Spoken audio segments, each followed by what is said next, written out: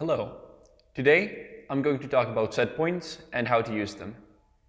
When you dive, you're going to use at least two set points. You're going to use a high set point and you're going to use a low set point. Another set point that you might be using is something that's called a descent set point.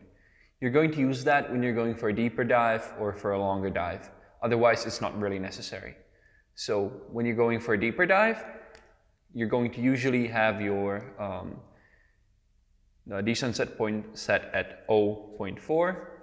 Your low is usually going to be set at 1.2 if you're going for an 80 meter dive, and your high is going to be set at 1.4.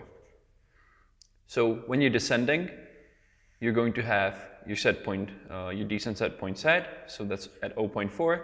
And when you're going down, the partial pressure is going to increase uh, as you go down by about 0.2 every 10 meters.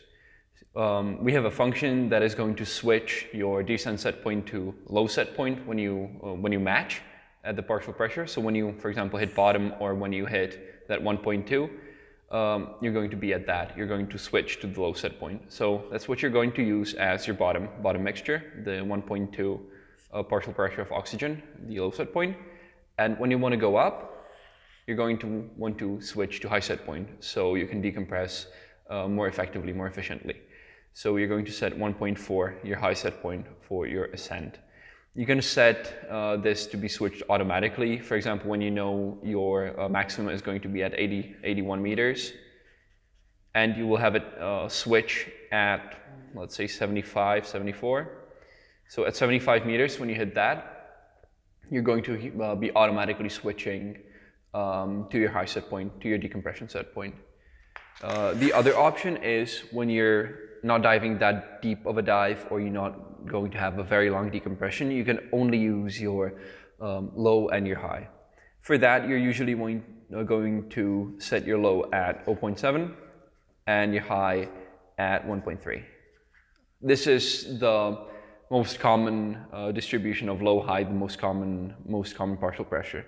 So when you're going down, you're going to be at 0.7 so that's, that's pretty simple, that's pretty straightforward. You're going to be at 0.7 for, uh, for your descent.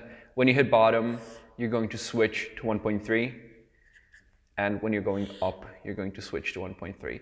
Um, this switching is done for two reasons. Uh, the first one is to uh, lower your decompression time, and the other one is to limit the amount of partial pressure of nitrogen you have at the bottom which lowers the risk of um, nitrogen narcosis and which could hinder your ability to manipulate with the machine, which could hinder with your clarity of thought. So that is, that is it for the usage of set points. Uh, if you have any questions, write them at the comments below or message us at our Facebook. Thank you for your attention, and if you have any further questions, please consult the user manual or send us a question through email or through Facebook.